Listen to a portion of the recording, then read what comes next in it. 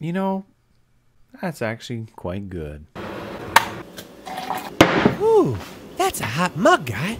Hey guys, this is my review for Door Mouse. Now, some of you might be wondering why am I reviewing this movie? The film just premiered at Vancouver International Film Festival, and I finally can cross that off of my bucket list. I've been trying to see a movie for one of these events for a long time, and I do know a couple of the actors who are in this film. Now, admittedly, before I went and saw the film, I watched the trailer. Before we went into the theater, I asked the two actors, I said, hey, just a question. There's a lot of brick vibes in this movie, am I right? And they both said that the director director told them to watch this first. There's a lot of thematic storytelling and that neo noir kind of ideology to the film that Brick has, but Door Mouse does in its own way very well. This film follows Mouse, a failing comic book artist who works at a burlesque club who finds herself enraptured in this mystery when one of her fellow dancers goes missing. Further, she goes down this rabbit hole, the more and more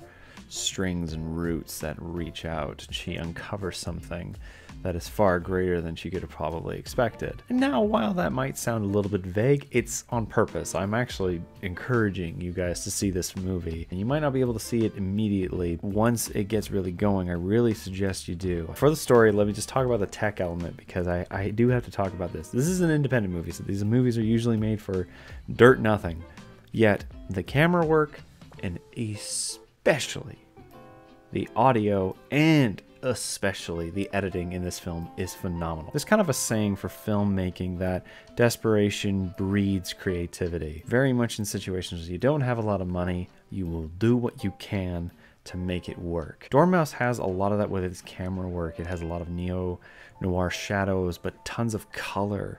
It's very subtle to the point where you are not just drawn into how the film is being shot, but also what is around. The production design is incredibly well done. There's so much in each area that there's little stories about every place that there is in the film. And to give you an idea again of how good the creativity was, is that this was made during COVID, the height of it. Limitations and resources for indie films were even higher at this time. The creativity and the world building that's happening behind the actors, behind the characters in this film, is so entertaining that it is almost as entertaining as the story itself. And then the sound and the editing. The sound in this film superb, very crisp, very good, very high quality. You know, Doe, pretty girl, dumb as a rock. Must have forgot. Did you try calling her? I did nothing. I can go to her place tomorrow and check in. And that correlates into the editing, and the editing is snappy. Really delves you into the comic book ideology that this film is going on with, because as she is a failing comic book artist, and there are these scenes that transition over to comic book panels, but they work. It doesn't feel disjointed, it doesn't feel out of place. It fits with the film, not just visually, but also thematically. And the editing correlates into the pacing, which is fantastic. The director Avan Jogia does a phenomenal job with keeping you hooked to the story, hooked to the characters, hooked to the flow of the film. And then the characters and the storytelling themselves. It's very much akin to Brick, but it also borrows from different comic books, uh, notable ones I can note of from the newer noir kind of pulp fiction kind of storytelling is Edward Brubaker's work with stuff like Criminal, Kill or Be Killed, The Fade Out. You're constantly intrigued into the layers that Mouse is going to uncover. And while she is removing the hidden layers,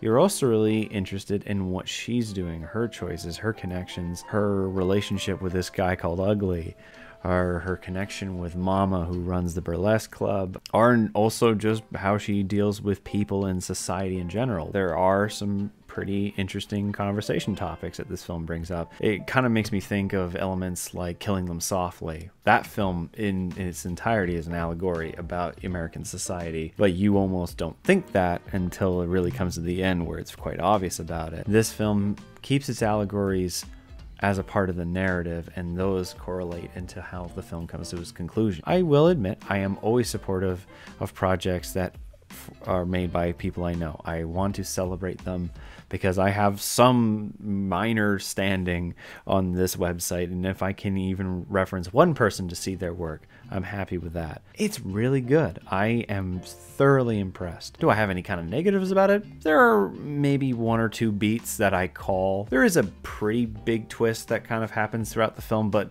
again, because of the brick uh, comparison and just how the story is playing out, I was able to see that quite early on. If I hadn't seen Brick, I probably wouldn't have called it, but it was only because of that reference that I was able to. That's no fault in this film. It's, you know, making reference to a really, really good independent uh, crime film. I have to say that I think Brick is one of the first independent films I ever saw, so it has a special spot for me. But in the end, what would I give Door Mouse? It's a really solid film. I would highly suggest it. It is really great independent filmmaking. It's something that if you yourself are interested in, this is a very high standard. But I definitely feel that this film is better than a lot of movies that I saw last year. And I'm being genuine about that. The only kind of negative about it is that I was able to predict a few things, but also once you've seen it, it doesn't really have as much draw. Like, I'll admit, I haven't seen Brick that many times in my life, but I still really enjoy it. So, in the end, I'm going to give Door Mouse a 6 out of 7. Very, very good. Normally, I wouldn't rate things when it's kind of like a, you know, personal connection kind of film, but this is a genuine movie. Like, these guys are part of the film, but the film itself as well should be commended. Anyways, guys, that's all from me. If you're able to check this film out in any capacity, please do. I really, really, really recommend it. I had a genuine fun time watching this movie. Seats were nice too, actually, in that theater. It was actually really good. Even the armrests were comfortable. I was really surprised about that. Check it out if you can. If not, keep an eye out for it. If and when a physical copy comes out, I would definitely uh, talk about that on the community page for my YouTube channel. So, you know, if you're interested, keep an eye out for that. I'll be buying one when it comes. If you like the video, leave a like. And if you're interested in more, subscribe. Also, tell me what you guys think about doing this in the dark shit. I thought it looked kind of cool when I did the Lake Mungo review, but I'm I'm kind of curious. I don't know. I realized that by bringing up IMDb, I did not. I messed with the lighting because I went from being viewable to in the dark, but I'm an idiot sometimes. So, anyways, that's all from me, guys. See you guys next time.